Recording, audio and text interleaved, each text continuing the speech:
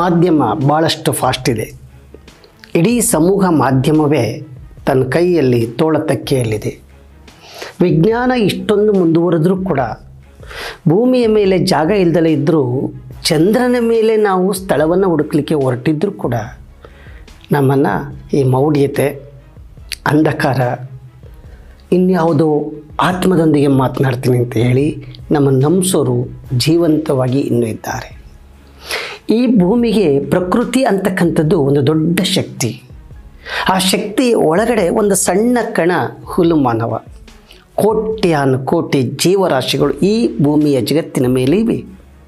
ಆದರೆ ಮಾತನಾಡುವ ಒಂದು ಶಕ್ತಿಯ ಕೌಶಲ್ಯವನ್ನು ಹೊಂದಿದ್ದಾನೆ ಅಂತ ಹೇಳಿ ಮಾನವ ಇಲ್ಲ ಸಲ್ಲದ ಈ ಪ್ರಕೃತಿಯ ವಿರುದ್ಧವಾದ ಆಲೋಚನೆಯನ್ನು ಮಾಡುವುದರಲ್ಲಿ ಅಗ್ರಗಣ್ಯ ನಮ್ಮ ಮಾನವ. ಅದಕ್ಕೊಂದು ಜ್ವಲಂತ ಸಾಕ್ಷಿ. ನಾವು ಈ ಭೂಮಿ ಮೇಲೆ ಬಂದಿದ್ದೇವೆ, ಹುಟ್ಟಿರುವುದು ಸಹಜ. ಸಾಯೋದು ಕೂಡ ಸಹಜ. ಸತ್ತ ಮೇಲೆ ಇನ್ನೇನೋ ಇದೆ?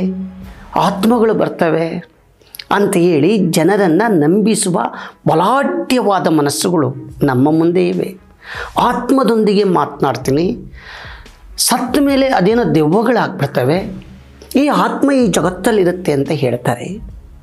ಖಂಡಿತ ಈ ಜಗತ್ತಲ್ಲಿ ಸತ್ತಂಥ ಎಲ್ಲ ಜೀವರಾಶಿಗಳು ಆತ್ಮಗಳಾಗಿದ್ದರೆ ಈ ಗಾಳಿಯ ಒಳಗಡೆ ಇದ್ದಿದ್ದರೆ ಒಂದು ಉಸಿರಾಟ ನಾವು ತೆಗೆದುಕೊಂಡಾಗ ಕೋಟ್ಯಾನು ಕೋಟಿ ಆತ್ಮಗಳು ನಮ್ಮ ದೇಹದೊಳಗೆ ಒಕ್ಕಿ ಮಾತನಾಡ್ಬೋದಾಗಿತ್ತು.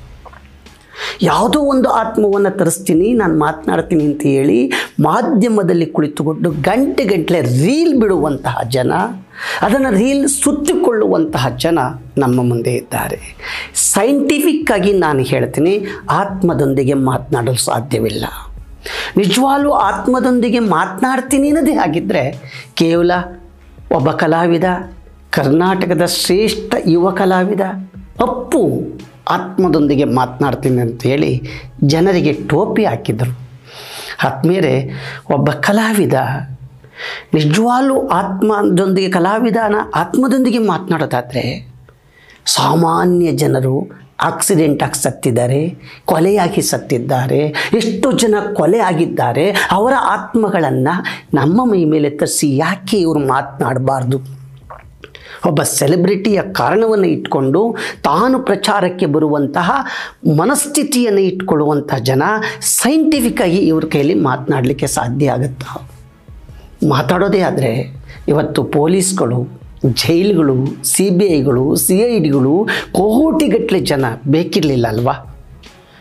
ಯಾವುದೋ ಕೊಲೆ ಆಗಿದ್ದಾರೆ. ಅದರ ಹಿಂದೆ ಇದು ಕೊಲೆ ಆದಂಥ ಆತ್ಮ ನಮ್ಮ ಮೈ ಮೇಲೆ ಬರ್ಸಿ ಹೀಗೆ ಕೊಲೆ ಮಾಡಿದ್ರು ಅಂತ ಹೇಳಿಸ್ಬಿಟ್ಟಿದ್ದರೆ ಇವರೇ ದೊಡ್ಡ ವ್ಯಕ್ತಿಗಳಾಗ್ಬೋದಾಗಿತ್ತಲ್ಲ. ಖಂಡಿತ ನಂಬೇಡಿ. ಪುನೀತ್ ಆತ್ಮವನ್ನು ಇಟ್ಕೊಂಡು ನಾನು ಮಾತನಾಡ್ತೀನಿ ಅಂತ.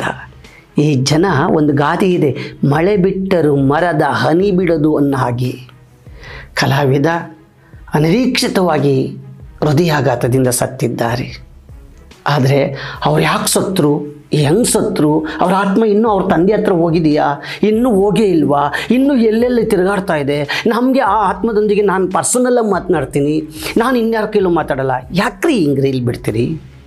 ಪರ್ಸನಲ್ಲಾಗಿ ಮಾತಾಡೋದಾದರೆ ನಿಮ್ಮ ಮನೆ ಒಳಗಡೆ ಇಟ್ಕೊಳ್ಳಿ. ಸಾರ್ವಜನಿಕವಾಗಿ ಮಾತಾಡೋವಂಥದ್ದಲ್ಲ ನಿಜವಾಗ್ಲೂ ಆತ್ಮದೊಂದಿಗೆ ಮಾತನಾಡೋದಾದರೆ, ಬನ್ನಿ ಓಪನ್ ಆಗಿ ನಾನು ನಿಮ್ಮ ಜೊತೆ ಕೂತ್ಕೊಳ್ತೀನಿ. ಸಾರ್ವಜನಿಕರು ಕೂತ್ಕೊಳ್ಳಿ, ಮಾಧ್ಯಮಗಳು ಕೂತ್ಕೊಳ್ಳಿ ಪೊಲೀಸ್ ಸ್ಟೇಷನ್ ಕೂತ್ಕೊಳ್ಳಿ, ನ್ಯಾಯಾಂಗ ಕೂತ್ಕೊಳ್ಳಿ, ವಿಜ್ಞಾನಿಗಳು ಕೂತ್ಕೊಳ್ಳಿ, ತಜ್ಞರು ಕೂತ್ಕೊಳ್ಳಿ, ಅವ್ರ ಮುಂದೆ ನಿಮ್ಮ ಕೈಲಿ ಮಾತನಾಡ್ಸೋಕ್ಕಾಗತ್ತಾ ನಾನು ಒಂದು ಓಪನ್ ಚಾಲೆಂಜ್ ನಿಮಗೆ ಕೊಡ್ತಾ ಇದ್ದೀನಿ.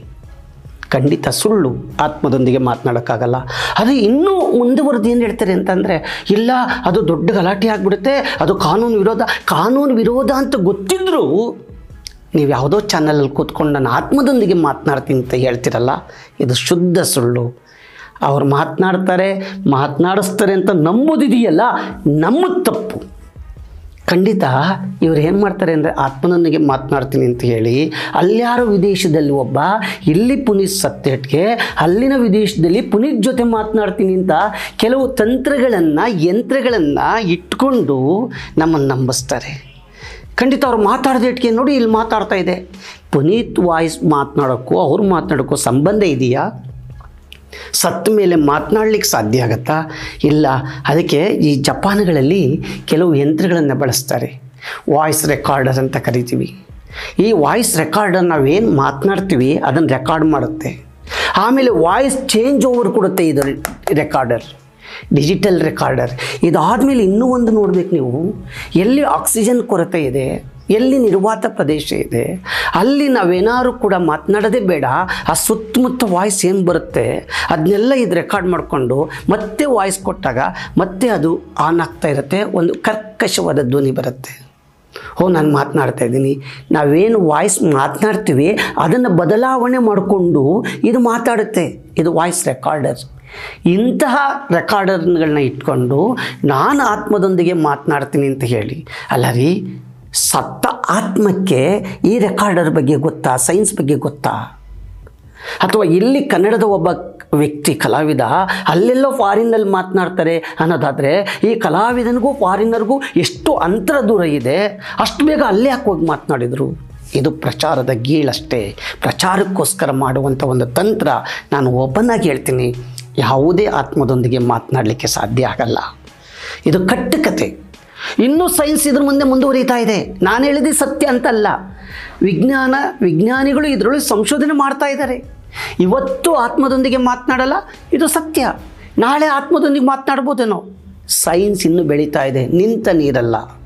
ಅಲ್ಲಿ ಅವ್ರ ಜೊತೆ ದೊಡ್ಡವ್ರು ಮಾತನಾಡಿದರು, ಇವ್ರ ಜೊತೆ ಮಾತಾಡಿದರು ಇವೆಲ್ಲ ಬಾಯಿಂದ ಬಾಯಿಗೆ ಬಂದಿರುವಂಥ ಹೇಳಿಕೆಗಳಷ್ಟೇ. ಆದರೆ ಪ್ರಾಕ್ಟಿಕಲ್ಲಾಗಿ ಸೈಂಟಿಫಿಕ್ಕಾಗಿ ಎಲ್ಲರೂ ಟ್ರೂ ಆಗಿದೆಯಾ ಫ್ರೂ ಆಗಿದೆಯಾ ಖಂಡಿತ ಆಗಿಲ್ಲ.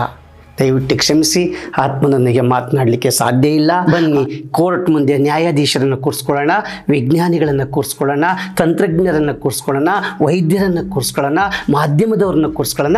ಅಲ್ಲಿ ಓಪನ್ ಆಗಿ ನೀವು ಮಾತನಾಡಿದರೆ ಅಷ್ಟು ಜನರ ಮುಂದೆ ನಾನು ನಿಮಗೆ ಶರಣಾಗ್ಬಿಡ್ತೀನಿ. ವಿಜ್ಞಾನವೇ ತಲೆ ತಗ್ಗಿಸುವಂತೆ ಮಾಡೋಣ. ಅದಕ್ಕೆ ಬಿಟ್ಟು ಈ ರೀತಿ ಮಾತನಾಡ್ತೀನಿ ಅಂತ ಹೇಳಿ ನಂಬಿಸುವ ಕೆಲಸವನ್ನು ಬಿಡಿ ಅಂತ ಹೇಳಿ ಸಾರ್ವಜನಿಕವಾಗಿ ತಮ್ಮನಿಗೆ ಪ್ರಾರ್ಥಿಸ್ಕೊಳ್ತೇನೆ. ನಮಸ್ಕಾರ.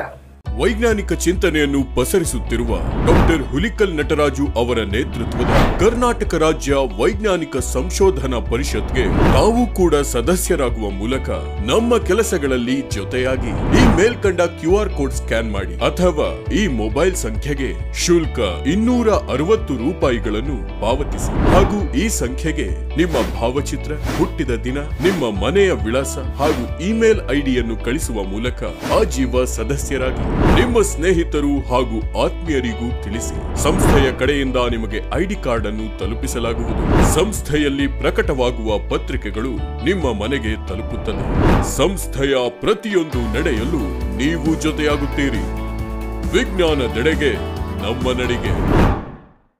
ಆತ್ಮೀಯರೇ, ನಿಮ್ಮ ಸುತ್ತಮುತ್ತ ವಾಮಾಚಾರ, ಮಾಟ, ಮಂತ್ರ ದೆವ್ವ ಭೂತಗಳ ಹೆದರಿಕೆಯಿಂದ ಮಾನಸಿಕ ಸಮಸ್ಯೆಗಳಿಂದ ಬಳಲುತ್ತಿರುವವರಿದ್ದರೆ ಕರ್ನಾಟಕ ರಾಜ್ಯ ವೈಜ್ಞಾನಿಕ ಸಂಶೋಧನಾ ಪರಿಷತ್ ಈ ನೋಂದಾಯಿತ ಸಂಸ್ಥೆಗೆ ಸಂಪರ್ಕಿಸುವ ಮೂಲಕ ಸಮಸ್ಯೆ ಮನಸ್ಸನ್ನು, ಮನುಷ್ಯನನ್ನು ಸುಡುವ ಮುನ್ನ ಸರಿಪಡಿಸಿಕೊಳ್ಳಿ. ನಿಮ್ಮ ಸ್ನೇಹಿತರು, ಹಿತೈಷಿಗಳು, ಸಂಬಂಧಿಕರು ಕಾಣದ ಕೈಗಳಿಗೆ ಬಲಿಯಾಗುವ ಮುನ್ನ ನಮ್ಮನ್ನು ಸಂಪರ್ಕಿಸಿ.